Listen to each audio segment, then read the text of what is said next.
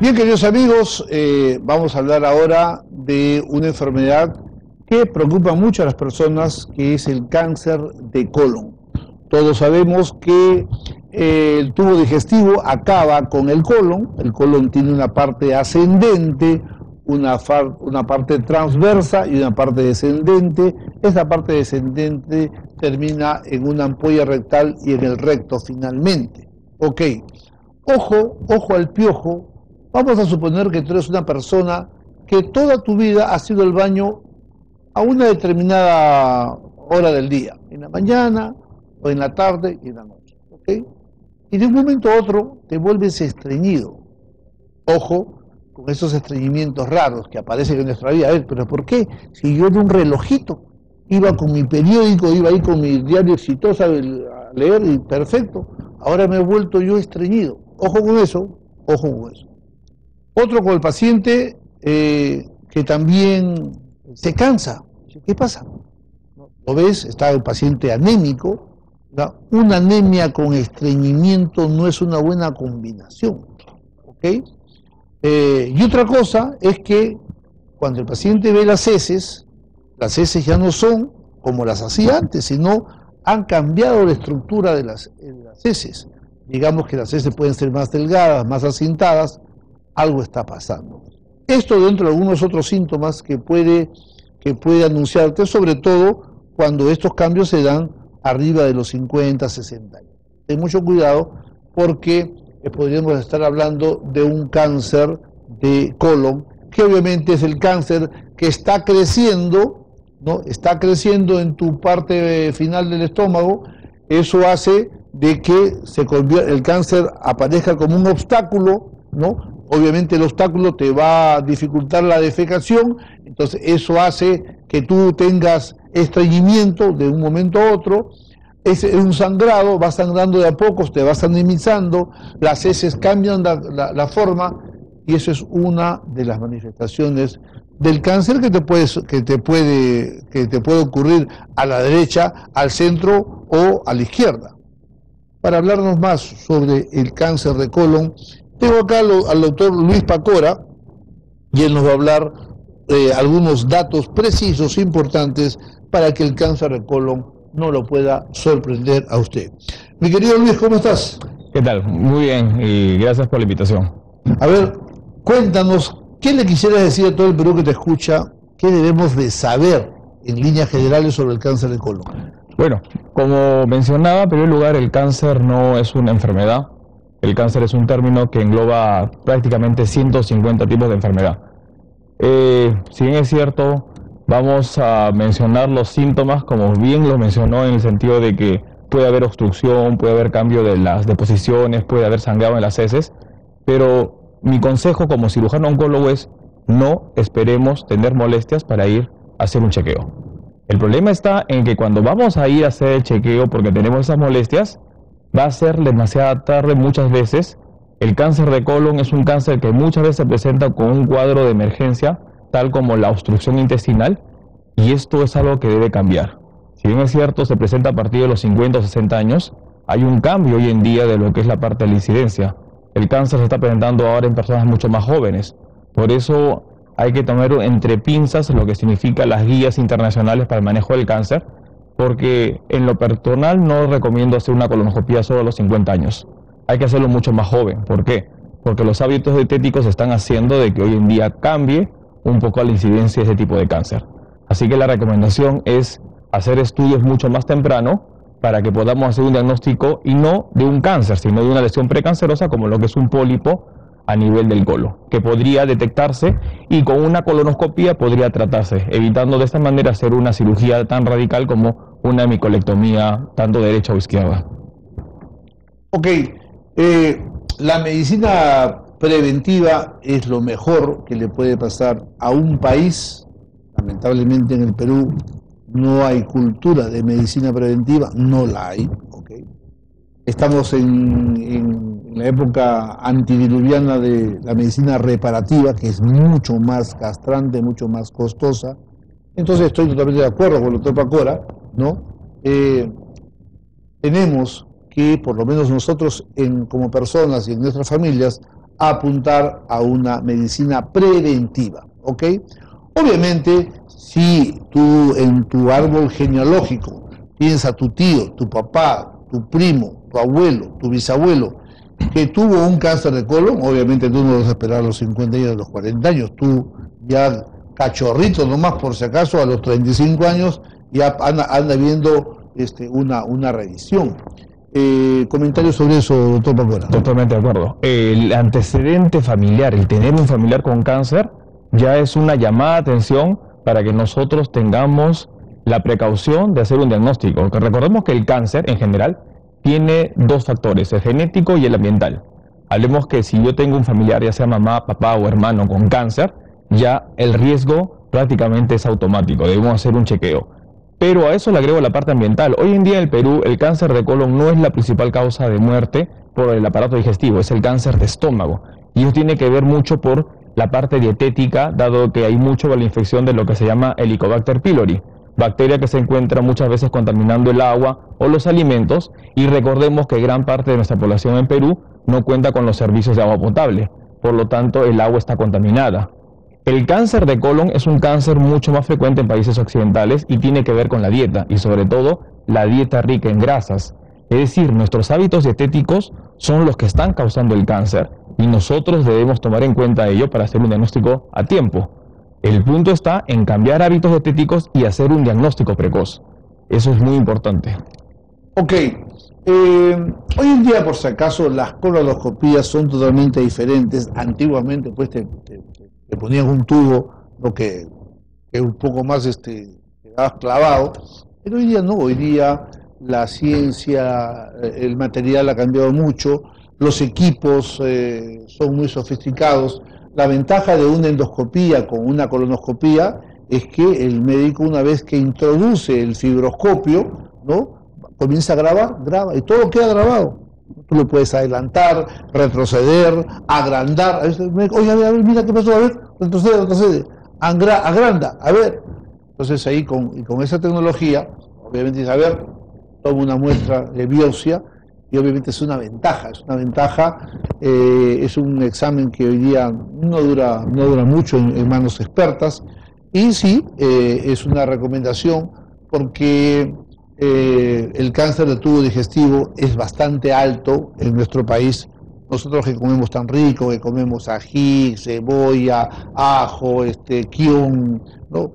tomamos té, café, comemos ceviche, este, nos gusta la comida bien sazonada, obviamente todos esos alimentos ¿no? que son deliciosos al paladar, pero nadie puede negar que también tiene como cosa eh, contraria que son irritantes. Y toda mucosa que es irritada, irritada, irritada, irritada, hasta que un día la mucosa se cansa y ya no, yo me revelo, me convierto en cáncer y así aparece el cáncer. Así que, ojo al piojo. Comentarios del doctor Pacora.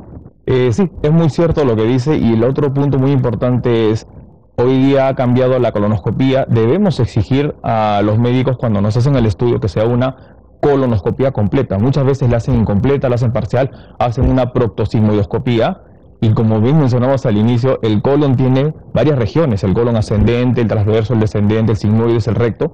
Entonces, un colon más o menos mide un metro sesenta. Si yo hago una proctosimodescopía, encuentro quizás hasta los 60 centímetros el colon, y eso no significa que si no encuentro nada, más allá no voy a encontrar una lesión, y es muy importante ver ello.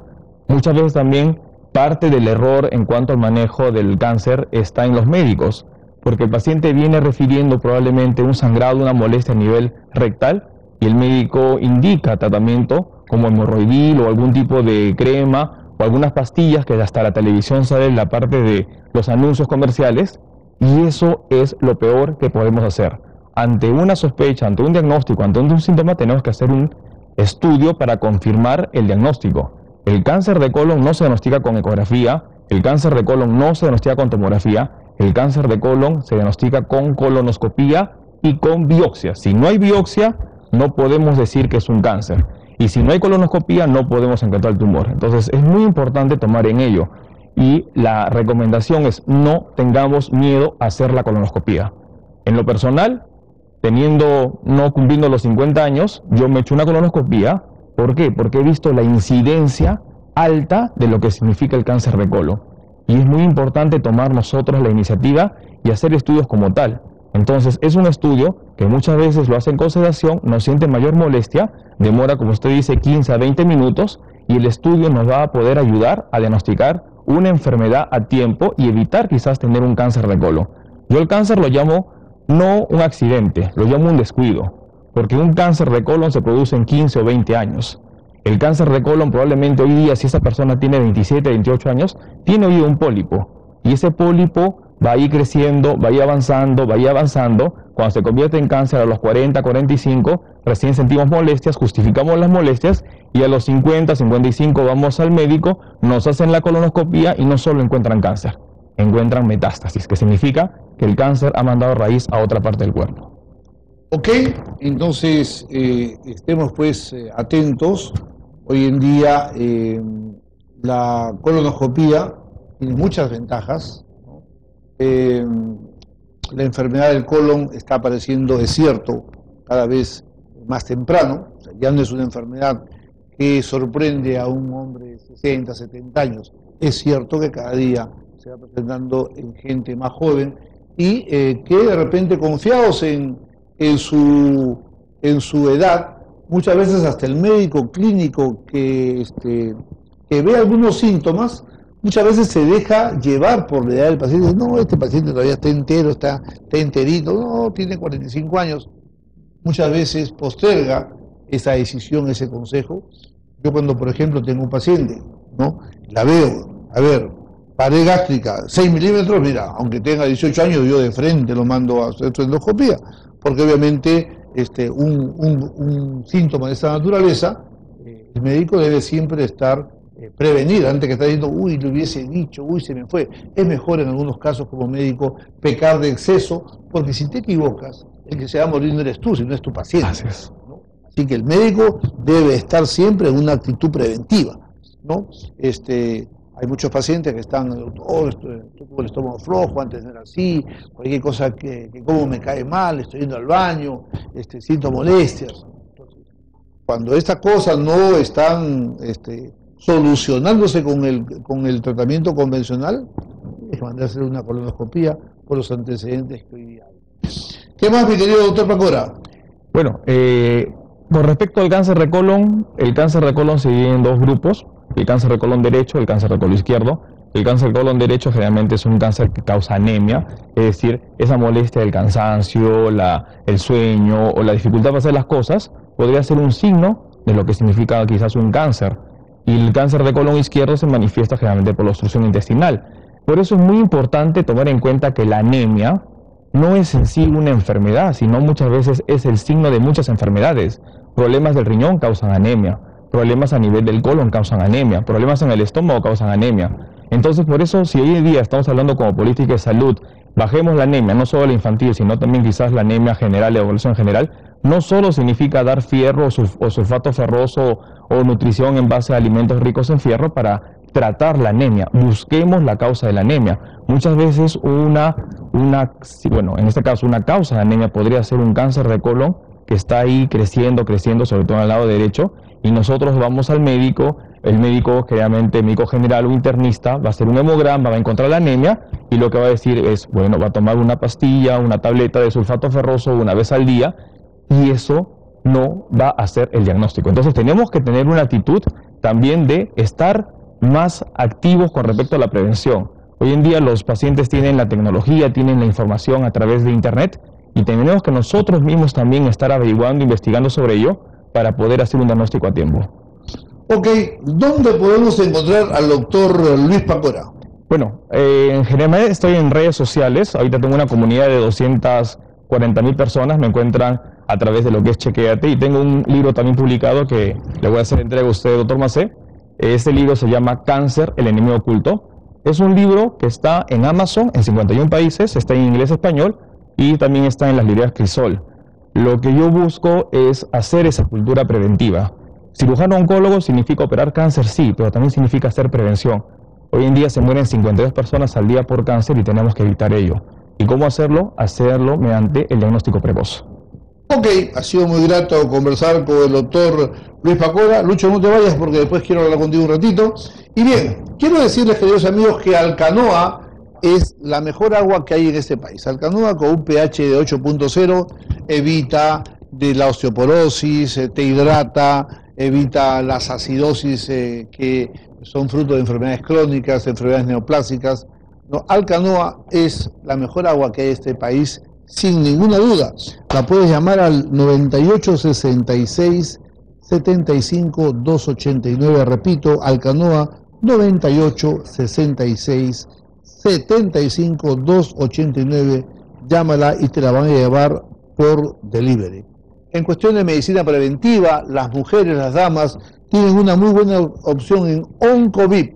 Si tú vives por Los Olivos, no tienes que venir hasta, hasta Lima, eh, tan lejos. En Los Olivos encuentras a Oncovip en el teléfono 535 40 29, 535 40 29 y en San Borja la encuentras en el 224 6638, 224 6638 solamente 100 soles el chequeo completo, incluyendo el Papa Nicolau, la colposcopía y todo el, chequeo. Lo mismo hacemos en las clínicas donde yo siempre estoy, es en Oprese. Ya si tú vives por Magdalena, por Pueblo Libre, por el Callao, ¿no? Entonces te conviene más ir a Oprese, que igual vas a pagar solamente 100 soles, pero además hacer todo el chequeo completo los lunes, miércoles y viernes, eh, ahí te hacen además una densitometría ósea totalmente gratuita llamas al 310-3811, anota este número 310-3811 para cualquiera de los médicos que tú puedas ah, requerir. El staff de médicos que están conmigo, tenemos neurólogos, endocrinólogos, reumatólogos, urólogos, eh, odontólogos, así que em, llama al 310-3811, pide una cita ahí y con mucho gusto te vamos a ver. Bien, estamos en febrero, se viene el día de San Valentín de los enamorados, algo tengo que hacer.